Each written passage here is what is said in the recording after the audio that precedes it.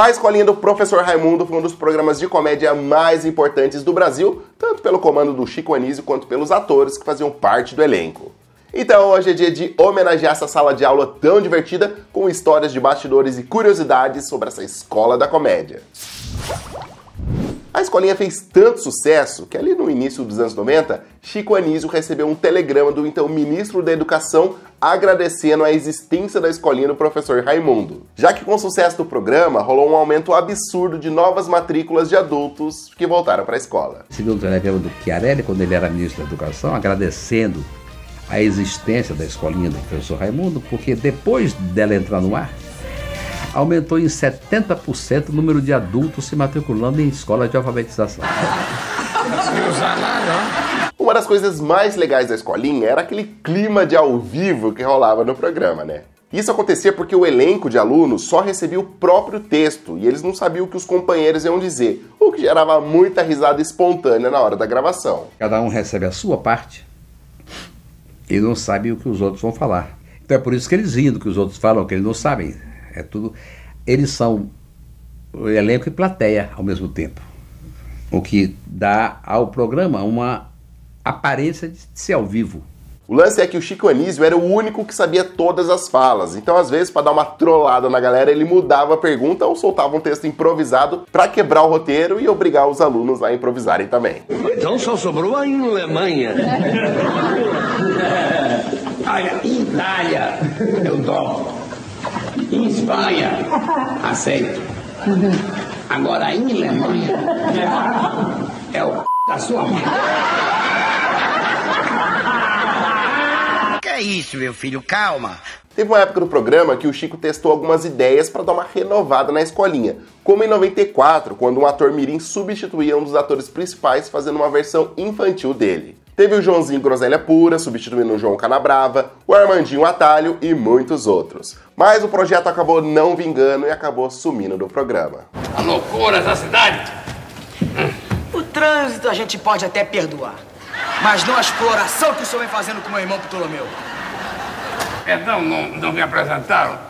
Quem é o jovem? Ah, por, por, por, favor, mestre, desculpe, eu me esqueci. Este é meu irmão mais novo, Copérnico da Silva.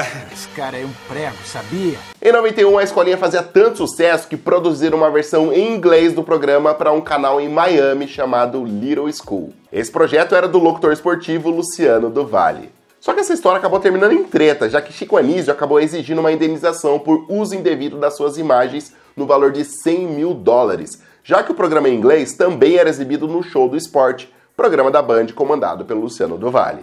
Só que esse dinheiro todo, ele transformado em dólar, ele, ele fica uma bobagem.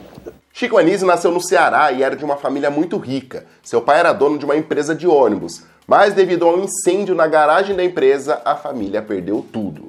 Com 8 anos de idade, ele pegou um navio rumo ao Rio de Janeiro, já que ele tinha o grande sonho de se tornar jogador de futebol no Vasco. Mas o tempo passou e um dia, ao invés de assistir a um jogo do seu time, ele resolveu acompanhar a irmã num teste na Rádio Guanabara e foi aprovado como radioator e locutor. Então vamos encerrar, meu jovem coelho. Mas já faltam 15.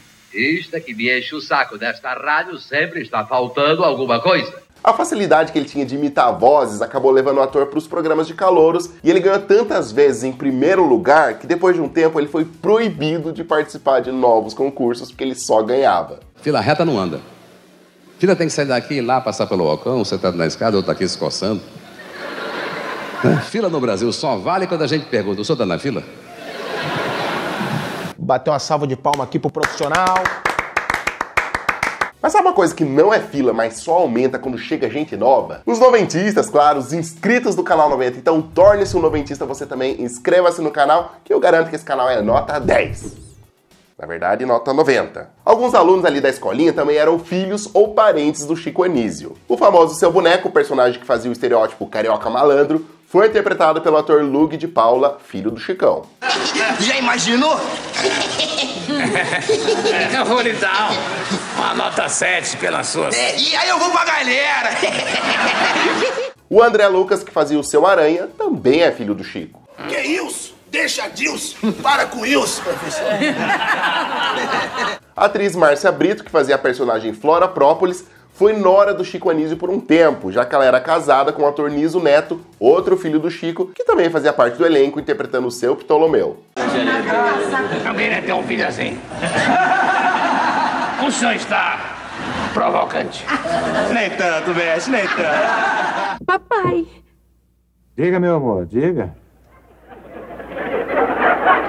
A personagem Célia Caridosa, interpretada pela atriz Nádia Maria, foi inspirada na ex-ministra da Economia Zélia Cardoso de Mello, lá da época do Collor. A ministra não só foi uma inspiração, como também foi uma das esposas de Chico Anísio. Ela também fez uma participação especial na escolinha na despedida da personagem Célia Caridosa do elenco. Dona Célia Caridosa de Mello. Eu tiro o seu teatro, hein? Presente por enquanto, professor. Por enquanto é bem colocado. Eu não acredito no que eu ouvi. Não acredito no que eu ouvi. Não pode ser verdade isso que eu escutei agora. Pode ser que você não saiba, mas muita gente que se tornou famosa depois só conseguiu chegar ao estrelato depois de passar pela escolinha do professor Raimundo. Entre esses nomes estão Zacarias e Mussum, que era sambista, mas teve o seu talento para comédia descoberto pelo gênio do humor. Esse é o Mussum? É, Seu sim, senhor. Mussum já foi meu aluno? Isso. Só se lembra de mim, seu professor? É. O Isso. senhor é inesquecível, seu Mussum. Muito obrigado. É de rodo? Ih, ih, ih, O aluno mais burro que eu já tive na minha aula. Não disse que ele não, não, não se esqueceu de mim, não valeu? Outros nomes surgiram na escolinha, como a Ingrid Guimarães, interpretando a modelo Leandra Borges, Heloísa Perissé, que fazia a Tati, e claro, Tom Cavalcante, o eterno João Canabrava. A, a minha nota aí pode fechar a conta.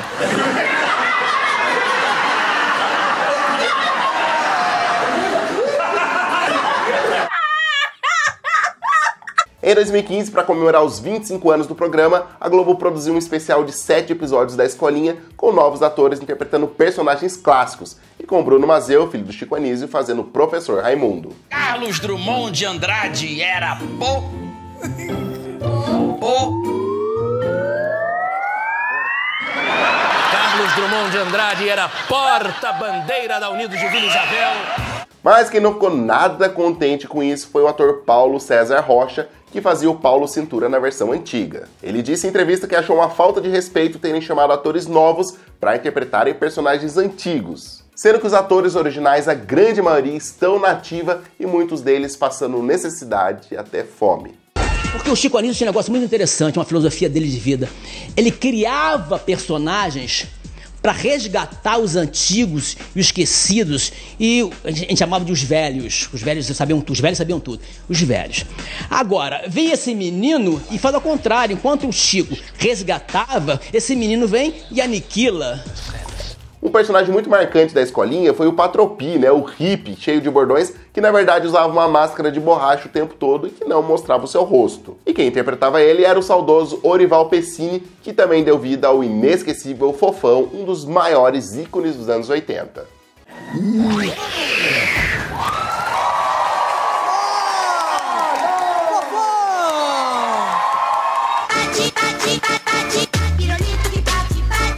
dos personagens mais celebrados do programa, sem dúvida, foi o seu peru, interpretado pelo saudoso mestre Orlando Drummond. Ele também foi homenageado no último episódio da quinta temporada do remake da Nova Escolinha. Eu estarei presente com muito amor e muito carinho. Obrigado, obrigado, obrigado. E assim, todo um esquema foi montado no estúdio para receber o mestre porque o elenco não sabia da visita. Os alunos estavam do lado de fora da sala e quando chegaram, o Drummond estava lá com o figurino completo do seu peru.